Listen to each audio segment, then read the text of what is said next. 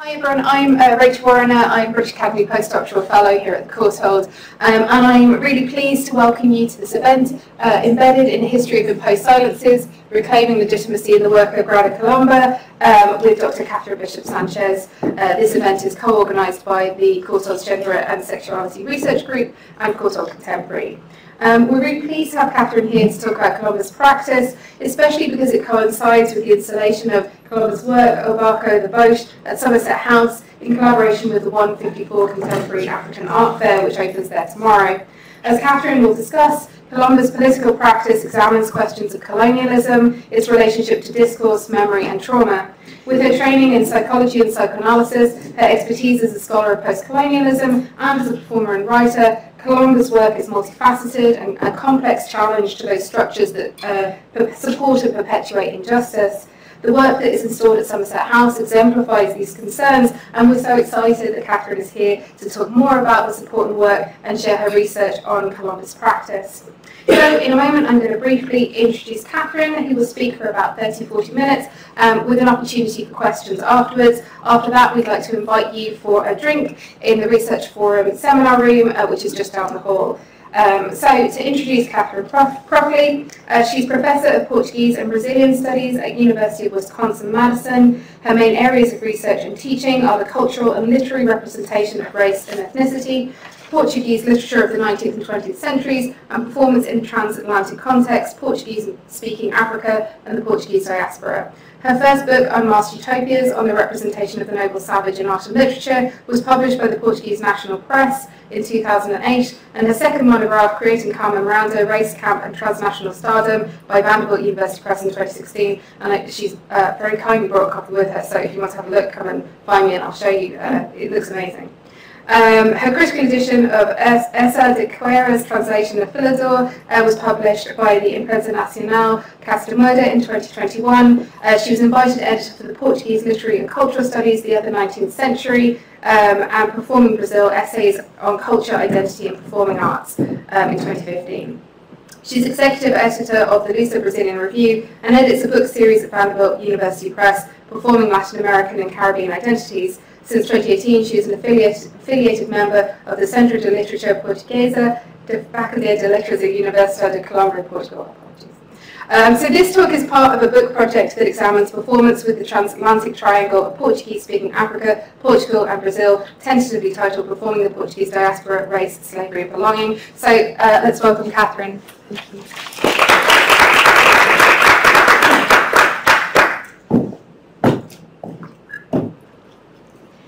Thank you so much, Rachel. Um, and I would also like to thank Joel Fornes over at the Somerset House who put us in, in touch so that I would be able to come and, and give this talk today. And I want to thank you for coming out um, to listen. Um, what I will be talking about on the work of uh, Grada Kilomba, and I really appreciate you, you being here, and I hope that we'll have a lovely discussion afterwards. I know we'll have a nice reception, so we have that to look forward to.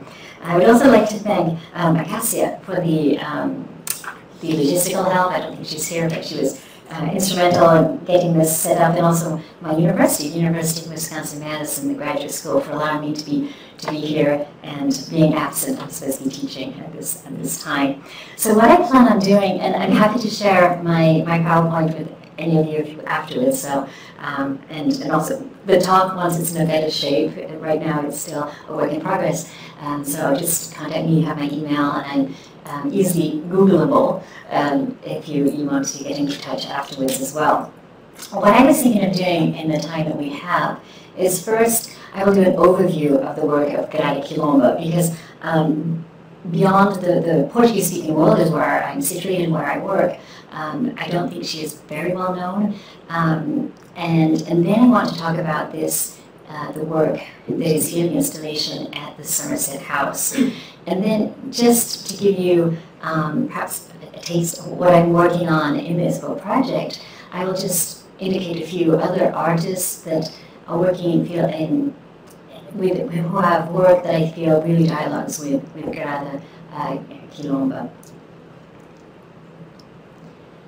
I want to start with this, with this quote. Sometimes I fear writing. Writing turns into fear. for I cannot escape so many colonial constructions in this world I am seen as a body that cannot produce knowledge, as a body outside place. I know that while I write, each word I choose will be examined and maybe even invalidated. So why do I write? I have to. I am embedded in a history of imposed silences. These are the opening lines of Grada Kilomba's art video, While I Write, and from which I drew the title of this presentation, Embedded in a History of Imposed Silences. As we know, millions of enslaved Africans were deprived of their identities and their humanity during the colonial times. Approximately 5.8 million in the Portuguese-speaking Atlantic slave trade alone. Af Africans who to this day continue to be mostly invisible in the retelling of these stories. As Michel-Rolph Trouillot writes in the preface to Silencing the Past, the production of historical narratives involves the uneven contribution of competing groups and individuals who have unequal access to the means for such production. The power in the story, to continue with Trouillot, is what is essential to expose, for history really reveals itself only through the production of specific narratives. Or, as Joseph Roach suggests in his discussion of memory and history as forms of cultural transmission across time, they, and I quote, function as forms of forgetting. Cultures select what they transmit through memory and history. Silences haunt all levels of slavery narratives, erasing identities and impeding the retrieval of these stories. While it is difficult, if not at times impossible, to reconstruct these narratives and assemble facts that have been buried in the past, the 21st century, in the 21st century, new initiatives have emerged that further this endeavor. I want to show you this example. Uh, there's many different sites that we can on, on the internet, but this group of scholars, enslaved.org, I think are doing some amazing work. Um, and in particular, I wanted to show you just like this, um, this group um, because their mission is to humanize the study of, of enslavement by centering on named individuals. It is necessary to write these alternative narratives in order to create new perspectives, at times only possible through an appropriation of power and privilege, to follow through with their creation and interpretation. Artists, along with scholars and historians, in their own way, can pay, play a significant role in making these silences speak for themselves retrospectively. This is when the work of artists, such as Grada Kilomba, becomes pertinent and even urgent. Kilomba was born in Portugal with roots in Angola and Santo Tomé Príncipe, her interdisciplinary work uses performance as a decolonizing tool. Kilomba moves between artistic creations and praxis, video installations, video art, stage readings, art installations, and academic writing and knowledge, often returning to the same themes of who can speak and on what, topics such as trauma, memory, racism, her performative and theoretical interventions create a provocative hybrid space through which the decolonized thought and relations of gender, race, class, the Western versus the non-Western, myths of civilization and barbarity, the perceived hegemony and superiority of Eurocentric and Western knowledge systems, etc.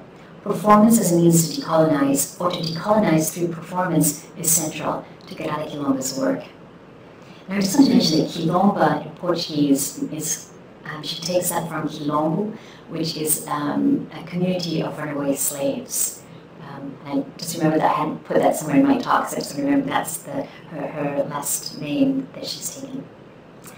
The impetus to recuperate a legitimate place for and through the body, the black body performative, and the ability to express the colonial experience and its legacy from the point of view of the oppressed is a constant theme in Grada's work. As Barreiros and Moreira write, Grada Kilomba's intersectional work responds to the contemporary urgency for decolonization in general, and knowledge and imagination in particular, placing her praxis within a healing movement, futurity. And I want to show you just three examples of her work prior to the book that I'm going to be discussing in more detail, just as in, in this overview as, as background. While I Write is the third sequence in a series of short video clips that question who has the ability to speak and be heard. The other two videos are While I Speak and While I Walk. These are videos where the main element is the visual element of the word, and that indicates the apparition of an individual historically silenced by colonial narratives. And this, uh, this series of videos was first um, screened at the Sao Paulo in Brazil um, Biennale in 2015-2016. These clips highlight certain images and concepts present in her compilation of short, short stories, Plantation Memories. And if you're wanting to start reading some of her work, some of her more theoretical work, I do recommend this book, um, Plantation Memories, that she wrote in English. And that's why you have the two dates. 2008, it was her dissertation, her PhD dissertation um, in 2008 and later translated into Portuguese in 2019, and it also exists in other languages. Um, so Plantation Memories and the corresponding stage reading, and here I've just given you some clips some screenshots of the stage reading, touched on themes such as racial discrimination, um, racial discrimination in higher education, for example, uh, racial discrimination in regards to hair politics, trauma, social silencing, and there's also a very interesting chapter on the mask with reference to the mask that the enslaved um, were, were forced to wear, also the um, that silenced, silenced them. And here we have a quote from Plantation Memories. It is a violent shock that suddenly places the black subject in a colonial scene where, as in a plantation scenario, one is imprisoned as the subordinate and exotic other. Unexpectedly, the past comes to coincide with the present, and the present is experienced as, as if one were in that uh, agonizing past. As witnessed throughout Grada's work, and the conjunction of the title, the two words of the title, Plantation Memories, explicitly reference, daily racism is not a mere reenactment of a colonial past, but a current, recurring, and constant reality, a traumatic reality, deeply rooted in our communities and that continues to haunt all aspects of our society. And then the third example that I want to show you is um, just in this brief overview. It's a three-part series, and the title is Illusions. And this is these are video performances that have traveled widely, um, and I believe are currently at um, an art foundation. It's Noble Art Foundation in Cape Cod. And so this is so the first of illusions, the first part, is the retelling of the myth of Narcissus and Echo, and the artist inserts music such as Nina Simone's uh, I Put a Spell on You, which can, the artist interprets as the spell, perhaps of white um, supremacy. And so um, what Grada Kilomba does with these, this series is she delivers a performance using the traditional, um, the, the African traditional storytelling um, in, in this narration. And so in each of the, see it better on the next on the next slide, on the second, on the, which is to your right. Um, um, this it's always like a two-channel video projecting. Um, so you have Grada who is narrating, and then you have the um, the performance on the other on the other screen. And so the first one is, is like I mentioned, is Narcissus and, and, and Echo. And then the second one was Oedipus, and there we have Grada, you know, Grada is Grada as one of the protagonists. And then the third one is um, the story of Antigone. And, and so this reenactment of the story of Antigone, who against the will of her uncle and the new king Creon uh, wants to give her murdered brother a dignified um, burial. And so in all three cases, so in these Illusions one, two, and three, it's just this absolutely stunning um, performance, the staging of, um, of blackness, black, all black uh, cast, and against this white backdrop, the white performative hue, um, with beautiful hints of texture through orange and, and red and, and, different uh, materials, and always the two, the two um, video channels. From the last narration, that's like another, um, that's also from Illusions 3, it's absolutely beautiful. From, from the last narration, I just want to read, perhaps I won't read both of these quotes. The, the first one, which is the, the opening statement that Grada, as the narrator, um, begins Illusions 3, and she, she says, What if history has not been told properly? What if only some characters have been revealed as part of its narrative? And what if the ghosts of the past are spirits that are doomed to wander precisely because these stories have not been told? And what if our history is haunted by cyclical violence precisely because it has not been buried properly? This is very similar to what we read in Joseph Roach's Cities of the Dead. The ghosts of the sacrificed still haunt these historic sites of the circumatlantic. Effigies accumulate and then fade into history or oblivion, only to be replaced by others. Tortured voices, disrupted languages, forced idioms and interrupted speeches, and I am surrounded by white spaces. That again is from While I Write, the first um, example I, I, showed you.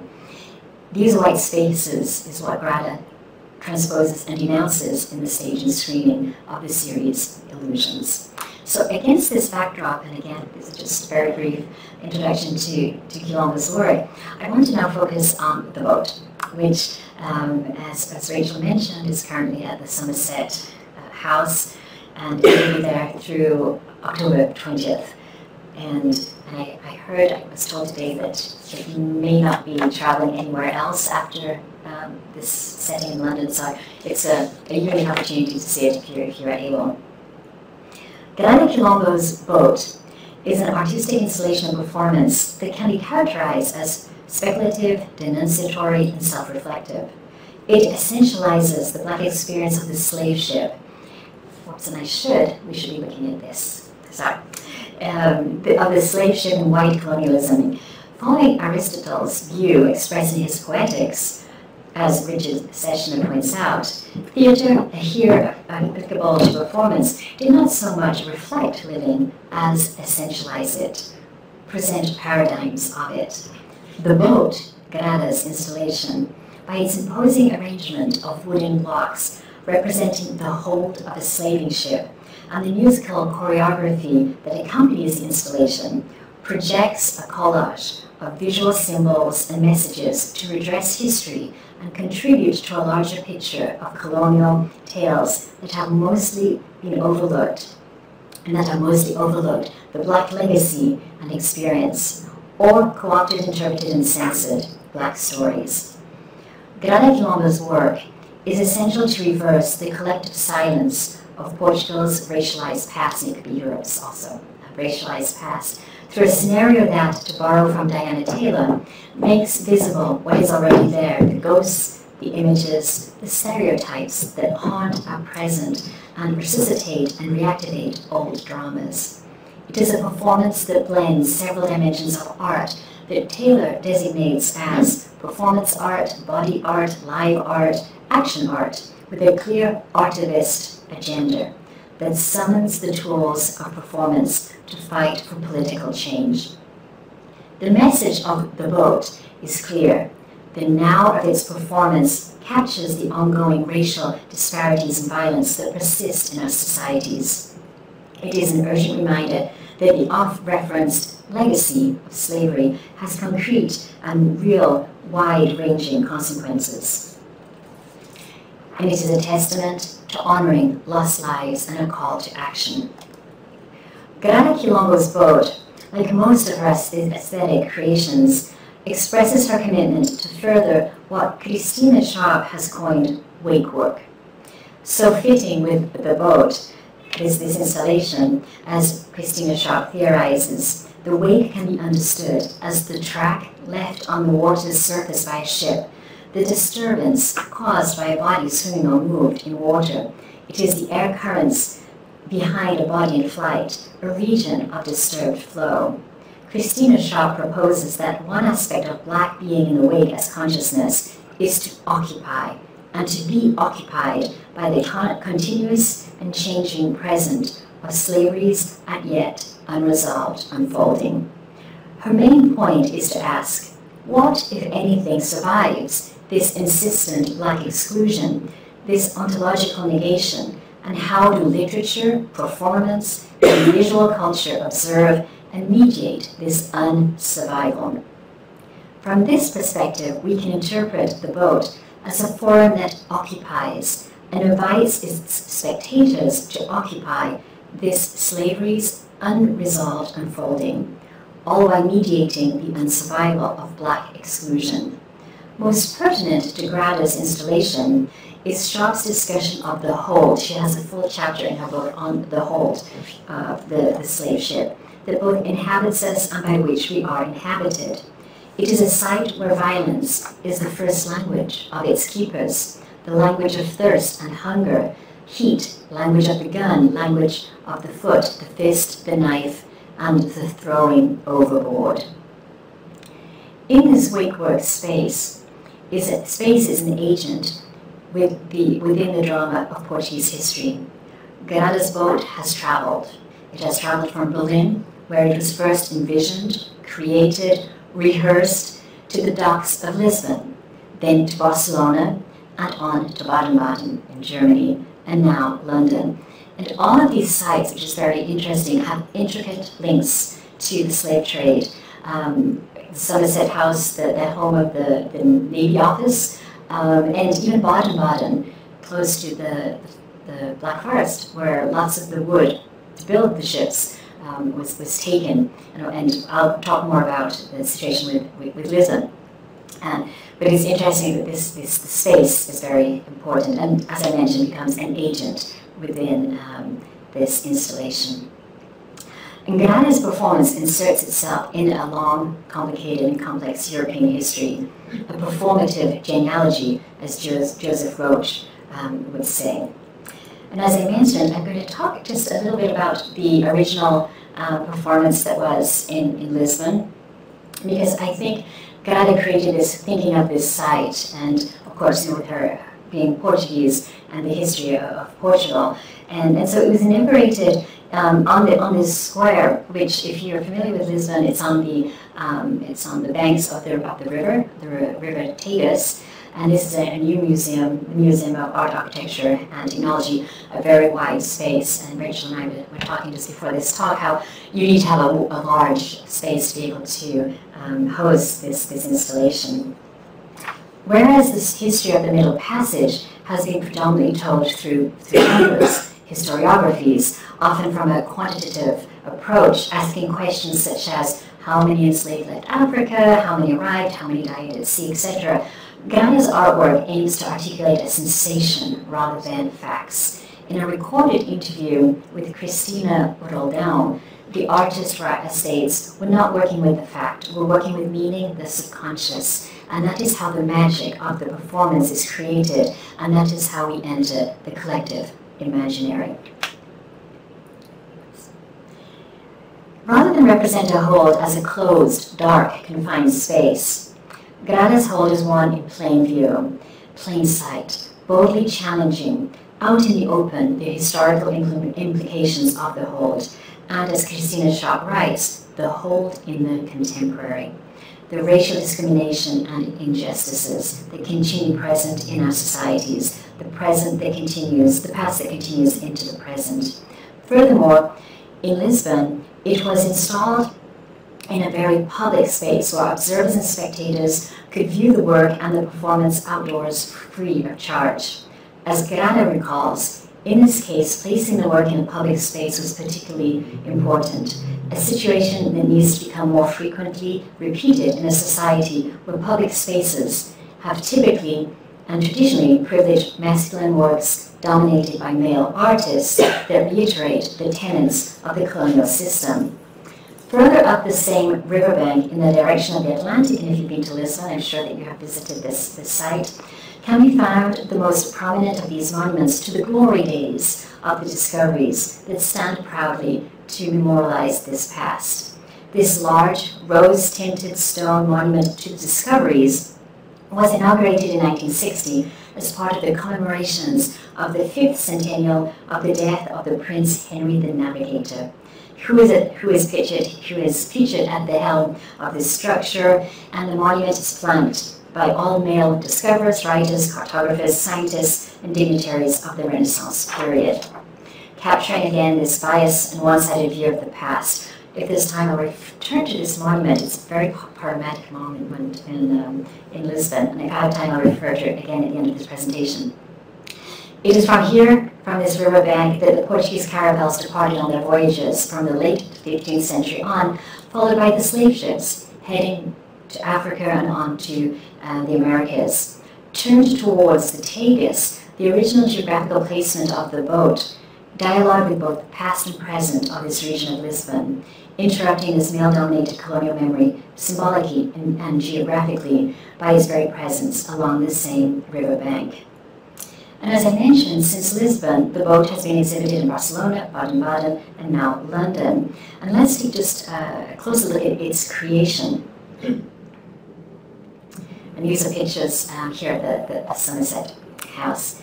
The artwork itself, with the performative segment, um, boldly represents a new perspective of a slave ship's hold. Here you see there are 140 wooden blocks that went through a process of burning and inscription. So uh, even this, this process itself was a prequel to the installation and a prequel to the performance. On the, uh, the charred blocks, Grada inscribed in gold letters poems that recall lost identities and histories of those enslaved. And here you see, this is from her Instagram account. Um, she's retouching it for the uh, just the, the poems, um, just on the on the very on the very blocks. So it seemed it was almost like a ceremonial um, preparation in, in, nature. So a, a, sequence ritual involved, and so the, the burning, the, the wood was placed in the ground, burned, so with all the accompanying odors, um, and then the inscription and the dyeing, and the drying of the, the paint, and here the, the rewriting. And I wanted to show you the poem. This is the poem that is on these blocks. And so when you, um, when you go to the installation, the each of the blocks in the center, there's 14 I believe, um, there's one verse on each of the blocks. So you have like one boat, one cargo hold, then the next block, one cargo hold, one, one load, the next one, one load, one story. And so you can read it as you walk around the 14, the 14 blocks. And so each block is assigned a segment of this, of this poem um, in, different, in different languages and several European and African languages that simulate the international dimension of the slave trade with words that point to the mortality of life and the violence committed against the bodies of those enslaved. So, and just a close-up of the blocks, and then you can read um, one life, one life, one body, and on the next one, um, one body, one one person. So, and so this epitomizes the overall overarching mission of the installation, everybody is alive.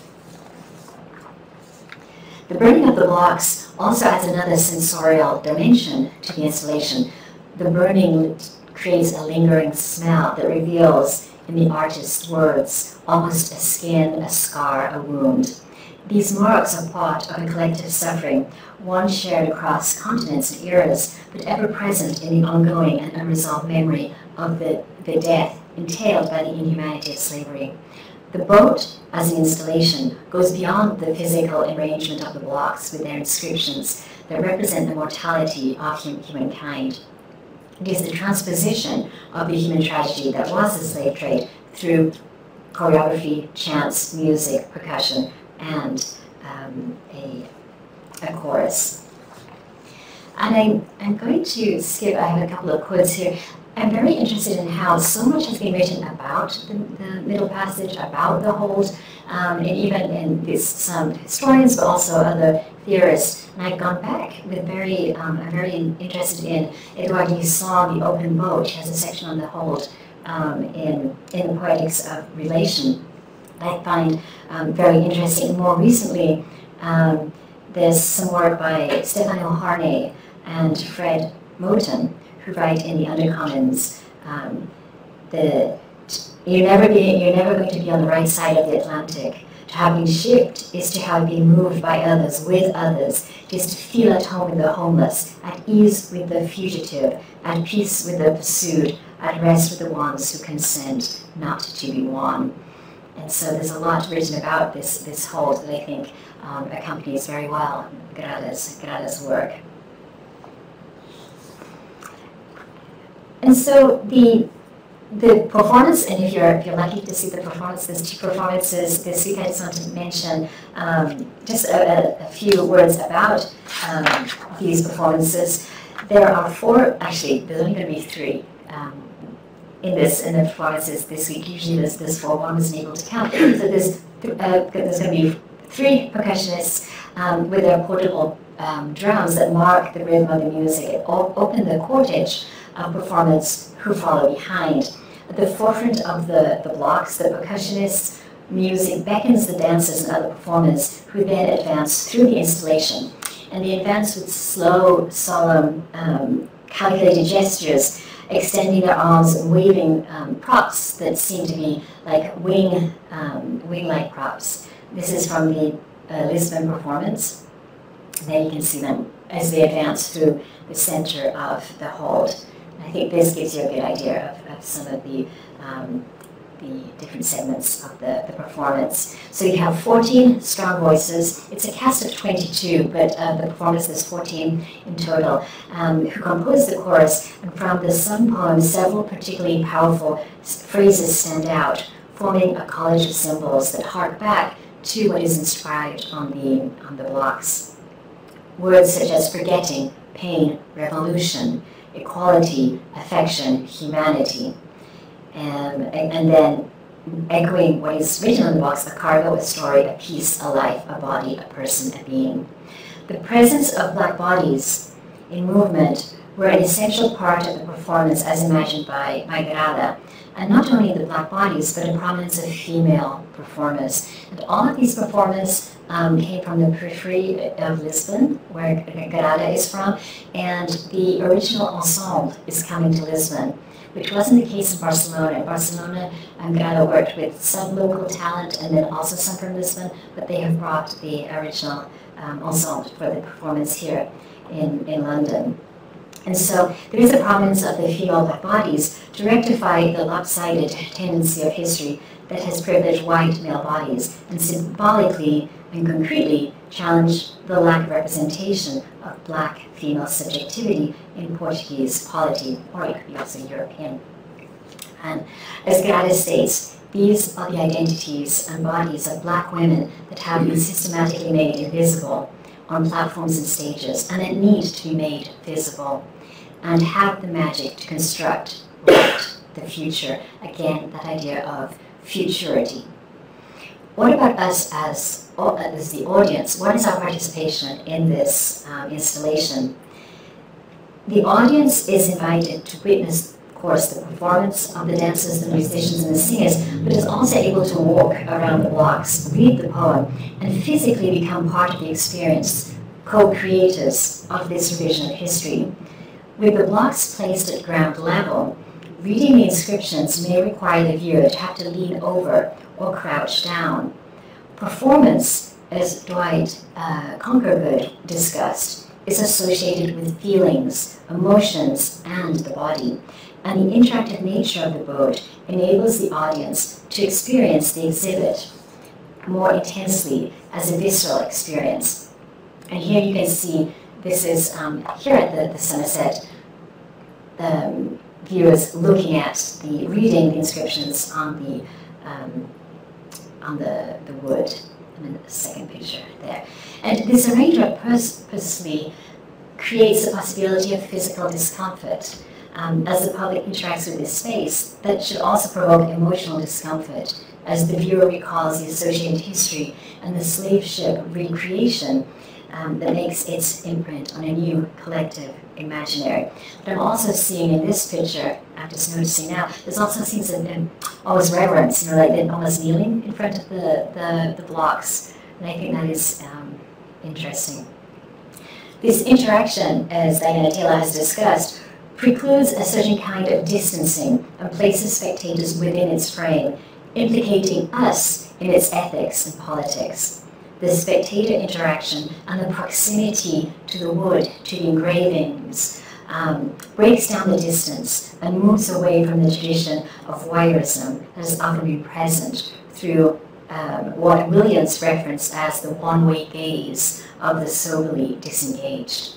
The work then can be seen as an invitation to a new journey, one that draws from a genocidal past and directly transposes the reality of its inhumanity and gives presence to those it erased through this very open public forum.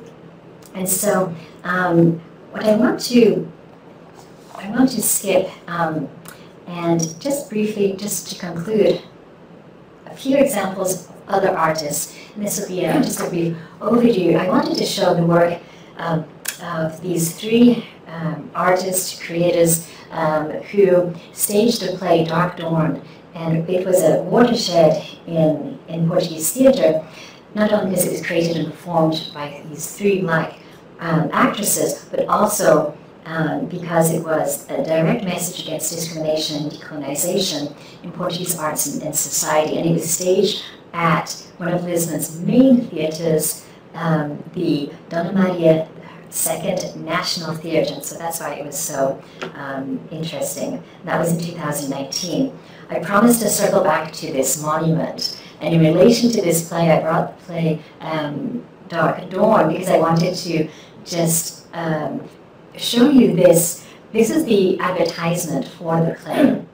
Again, this is the monument, the monument to the discoveries. And in this photo performance that was advertised in the play, I just think it's very interesting how um, they, it, it, embodies the main message of the play, which is giving visibility to bodies that have been erased, deprived of the possibility of telling their own narratives. And the copy of the, um, of the publicity says, to create, to, to celebrate the men who have accomplished great conquests for the nation, it is necessary to also celebrate the mothers who held in their arms their children killed by the men who accomplished great conquests for the nation.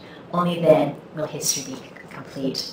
Another example, again, this is also this monument. So if you go to Lisbon now, you'll be seeing that monument perhaps with different eyes. Um, this, this monument, um, this photography, this was a, a photography done by Kiluanji Kia um, Henda. And what, what is interesting here, and I don't have time to really discuss it in, in depth, but he names this the discovery. And it was 15 uh, youth came from the periphery and placed on the monument. Um, this is 2000, 2007 another work, and this is um, a work that has is forthcoming. Um, Kiluanji, the same artist, um, he won a competition for the what will be the memorial to the enslaved in, in Lisbon, but um, this has not materialized yet. And the, the title is The Plantation, Prosperity and Nightmare. In Portuguese, that's a beautiful three-word uh, alliteration, plantação, prosperidade, um, y pesadelo. Um, and, but I think the last two words um, was more working titles. Uh, so it's going to be the plantation. So while we see the plantation, of course, the place where the ideology of slavery uh, was implemented, but also the plantation that fueled, you know, the money that fueled the slave trafficking and the money bags of the, um, the big house, the, the master's house. And, and what is interesting in this um, installation is this is a plantation in mourning.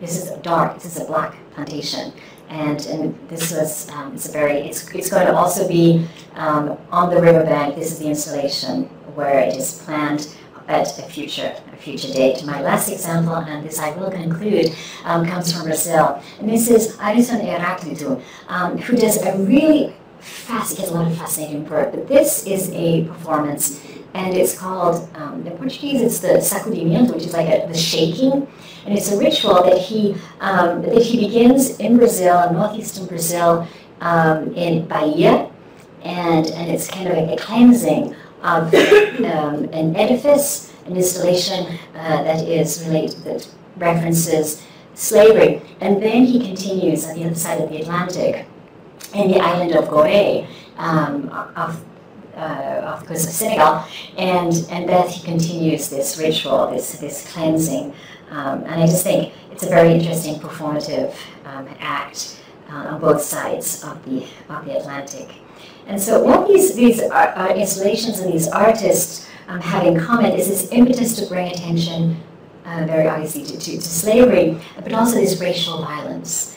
And, and for this, in societies that for the most part have preferred to veer away from the discomfort of a past that continues to haunt the present. I think it was Patricia Williams that says um, people who want to, why are we still um, waving the flag of, uh, of slavery? People uh, would prefer to um, pass it by. As Cleo asks, how do we recognize the end of a bottomless silence? This urgent and necessary kind of performance is a part of a larger impulse among those and beyond as Pierre Nora, Nora writes, marginalized in traditional history, who are haunted by the need to recover their buried pasts. The Boat by Grada Kilomba can be considered a resistive, subversive, but also celebratory performance. And it is through artwork and performances like those of Grada Kilomba that we are able to reposition ourselves, tell new stories from new perspectives, to create alternative narratives that refuse to be hostages to a silenced, pa- a silenced past. Grada Kilomba's work is a dark evocation of racism, colonialism, and genocide that resurfaces in contemporary society, past and present, reminding us where we are and ultimately seeking change for the future. So that these voices and narratives will no longer be embedded in history of imposed silences. Thank you so much.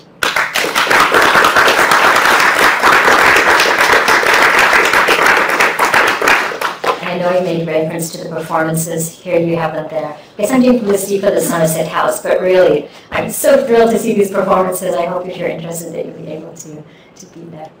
Thank you, and thank you for that. I mean, like, thank you so much for your talk. Thank you also for uh, giving this information on those because I'm sure everyone will want to go and see them. Um, I'm going to open up for questions, but first I'm going to um, take the opportunity. Absolutely. Um, I was really interested. I love this idea of um, opening up the space for feeling as a kind of political um, practice, and I, I, was particularly struck by the way in which, in some ways, the um, gold painting on the black wood looks a bit like a gravestone. And I was wondering if there is a kind of, does she speak about, or do you think anything about the kind of role of mourning in this as a kind of a, um, a, a, work in terms of political feeling? You know, I haven't heard her talk about mourning um, per se, um, but she talks a lot about death and mortality. And so I do think we could extend that to, to, include mourning, absolutely. I had not thought about that being like the great gravestone, but it is. We're inscribing on these blocks of wood. So definitely we inscribe on a gravestone. So I think, I think that's, that's um, definitely um, appropriate. Yeah, I think it's really interesting to think that if you're trying to make something individual, then mourning is a kind of a way of um, sort of particular feeling for a particular person. I wondered about that. But uh, um, does anyone else have things? Oh, sorry. No, I just wanted to say it's interesting if when you go. I just went today because I wanted to see it before um, talking to you this afternoon um, there is a feeling of reverence, and there's a sign that says "No selfies, please." Um, to, to honor this space, and really, that really touched me because I do, I do think it's um, there's a feeling with this type of an installation, and um, so absolutely I appreciate you you mentioning that. Any questions? Um, anyone want to ask Lucy? Thank you, that was so fantastic, and I was not familiar with her work, so thank you so much for introducing us to other projects as well at the beginning. Um, I was also really struck by that idea of an embodied history almost, rather than a history of facts and figures. And I was struck too by the different viewpoints and perspectives in the images that you showed of the work. So initially that, that almost aerial shot where we're looking down on it, and, and certainly from a British educational perspective, that's, that felt so familiar to me from the kind of diagrams in high school history books. And those diagrams that, that almost abstract the individual human experience of, of slavery and the slave trade. And I, I kind of thought about the way in which we often, certainly in this country, and certainly in my education, learned about the slave trade has really a kind of history of, of figures and facts. Um, and the way in which that almost, I am getting to a question, I'm sorry, um, reproduces the kind of uh, the logic of capital that drove the slave trade in the first place. and so I wondered if you could say something about the way in which that, that embodied perspective that operates at ground level maybe changes the way in which we think about history as a process of learning about the slave trade and the experience of slavery. Yes, no, absolutely. I think Yes, I really enjoyed your comment too before the question. I was taking notes. Thank you for that. Um, I, I, do think it makes it so much more real, and it makes it it makes it closer to us. And I think that's what embodied performance does. It makes it um, there's not that separation. It really makes you feel it. It's tangible. It's visceral. And but I want to go back to you mentioned the, the aerial view. There's those maquettes that we used to see exactly um, and I, I, didn't bring that because, you know, this slideshow is only like 36 slides, and I, I took a, one of those maquettes out just to show how it was, it's parallel to that. Um, had also um, proposed a similar installation for the memorial to the enslaved in Lisbon, and her project wasn't chosen. The, um, the project was chosen. But in the, the dossier of that, um, of the proposal, the PDF, she, she puts the maquettes, like those images, those like aerial view, I guess, of the slave ship, and, and alongside her um, her installation. So it's very, very present. It's there. However, then she works against it. So I, I, and I think she she provides that. It's also for the jury, perhaps, to understand. I, I don't know. Um, but I think she works against that. And she says that very explicitly. I don't want to work with facts. I'm working with the feelings. And almost like the magic of the performance, I think is the term she uses. So she's she's doing, you know, she's departing from the facts completely, but using them as the base, and then wanting us to have this experience so that we can change the future. So thank you, thank you for that. And I hope you experience it. Um, and not just the discomfort, but also the reverence. And I, and I saw that just giving this presentation, suddenly the people kneeling, I had seen that as discomfort. But as I was speaking, I just thought, no, that's almost, people kneel, you know, sometimes in churches, right, to pray. So I felt that was also reverence to the, um, the, the deceased. I've also had students ask, what, do the, what does the wood represent? Which does anyone have any any thoughts on like the, the different wood, the logs? Because when you see the maquettes, it's almost like they have um, like people, right? You know, those maquettes, it seems to be um, the enslaved people in the hold of the ship. So I mean, I just, we can think about it. I don't have an answer. And I shouldn't be asking the questions. I'm supposed to be receiving the questions. But, you know, I have a captive audience. I thought, you know, I don't have an answer. So, um, and they say you should present your work early when it's really a work in progress. So you make your mistakes early. So you know, that's what I'm also doing. Does anyone else have any other things? Yeah.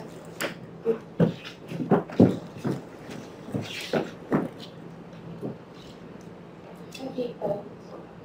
Um, I like the talk with the conversation about um, the historical archive and sort of balanced way that um, narratives are represented in history. And I was thinking about the archive and, and um, just use of performance, which is a sort of fleeting uh, temporary medium, and I was wondering if you could speak to that. Absolutely. Yeah. And, the, and the performance, and when we talk about performance in the archive, okay, we, we always think about Diana Taylor and, and work on the, on the archive as a performance medium, but, but I think, you know, because the performance is never the same, the performance is fleeting, what is left? What is left at the end is the emotion.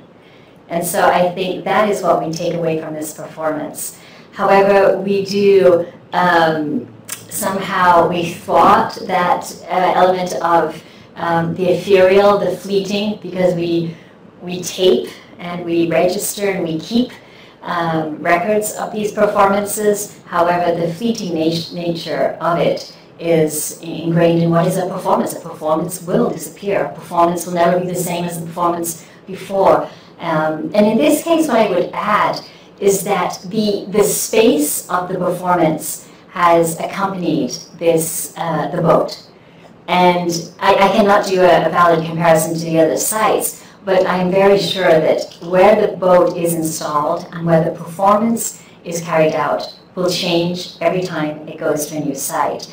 And even at the Somerset House, they were discussing this afternoon, um, bringing the performance down from the upper terrace, you know, just, uh, and you're using the site uh, that is there. So again, the performance will change and it will be um, uh, immemorable, right? It will be fleeting and ephemeral.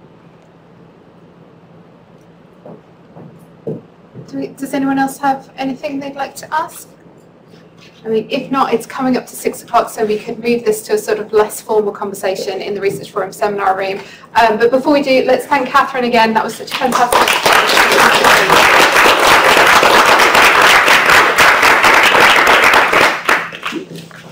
And I hope you'll try to get to the performances. They're really great if you can.